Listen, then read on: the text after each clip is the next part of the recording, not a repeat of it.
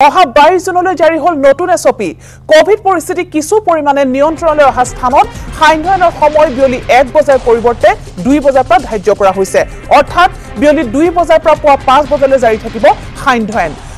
আমি পুনৰবাৰ জনাইছো এটা ব্ৰেকিং নিউজ যে অহা বাইশ জুনলৈ জাৰি কৰা হৈছে নতুন এছ অপি আৰু নতুন এছ অপি অনুসৰি কভিড পৰিস্থিতি কিছু পৰিমাণে